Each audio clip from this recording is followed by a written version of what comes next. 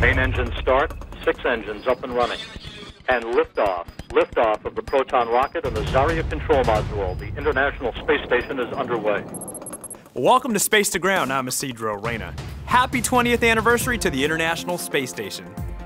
This week marks the anniversary of the beginning of the world's orbiting laboratory. It was on November 20th, 1998, that a Russian Proton rocket lifted the first module, Zarya, into space, followed two weeks later by Unity, the first U.S. segment carried by Space Shuttle Endeavour on STS-88. Since then, more than 200 astronauts and cosmonauts from 18 countries have visited the station and contributed to more than 2,500 investigations. Great research, innovation, fundamental scientific discovery, and testing of exploration concepts and technology will continue aboard the station as it paves the way for commercial industry in low Earth orbit. The station crew had this to say about this historic milestone. ISS is a ship that teaches us how to fly beyond the horizon.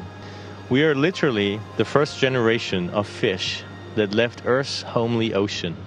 The next generation will set their foot on Mars using the knowledge and technologies developed on the International Space Station. This week, the crew enjoyed a traditional Thanksgiving feast in microgravity. We've got everything from turkey to candied yams to stuffing to special spicy pound cakes, so we're very excited. While the space station may be a lot like home, in the galley kitchen, you'll see quite a few differences. There are no refrigerators or stoves, so meals have to be shelf stable and easily reheated in small warmers. Also, the galley is missing a few other items knives and chairs. Most meals are eaten with a spoon, and because of microgravity, crew members float around the table. Two cargo vehicles arrived to the station with tons of supplies for the crew.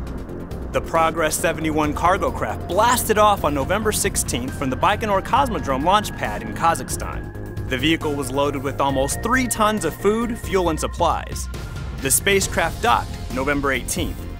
The Cygnus space freighter from Northrop Grumman launched November 17th at the Wallops Flight Facility on Virginia's Atlantic coast. The U.S. resupply ship delivered approximately 7,400 pounds of food, fuel, and supplies to the station. The spacecraft was captured November 19th by the Canadarm2 robotic arm. Keep sending in your questions using the hashtag SpaceToGround. We'll see you next week.